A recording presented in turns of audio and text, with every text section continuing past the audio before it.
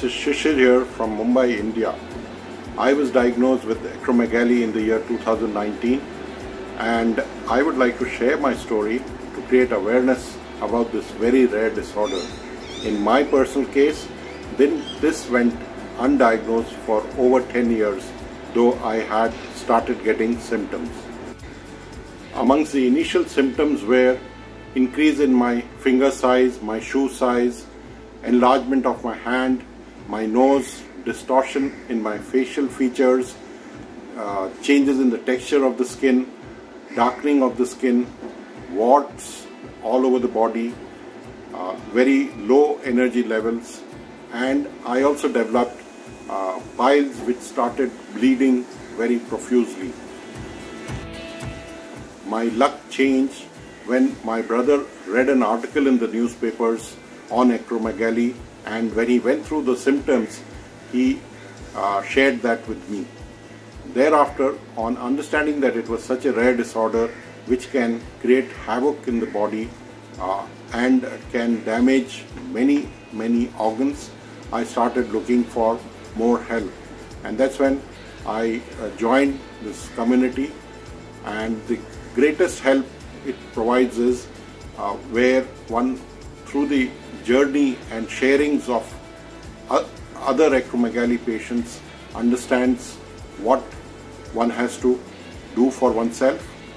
Uh, also get uh, good guidance on uh, any new developments which happen.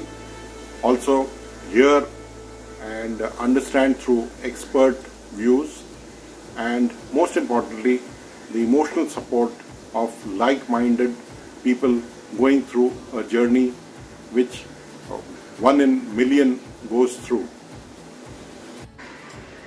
First the bad news.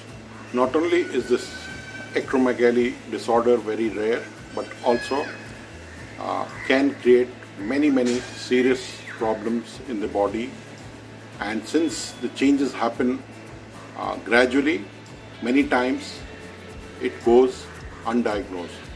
So uh, in case you start seeing uh, increase in your size of nose, lips or face or finger ring during adulthood, go for its early diagnosis. Now the good news. The good news is that once diagnosed and if proper steps are taken to manage it, not only will the uh, further damage to the body get controlled, but even even many of the symptoms can get reversed over a period of time.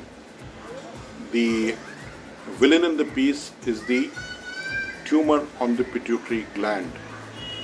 So that needs to get managed. Most people go for uh, surgical removal of the tumor. In my case, I have chosen alternate therapy where I am taking homeopathic treatment besides uh, do yoga, meditation and have also made changes in my diet. Uh, the good news is I am starting to see encouraging results my snoring has come down by almost 80%. My piles has got completely cured. Uh, my tingling in the hands has come down and uh, energy levels have also improved. Awareness saves lives. Join our acromegaly warriors in this campaign.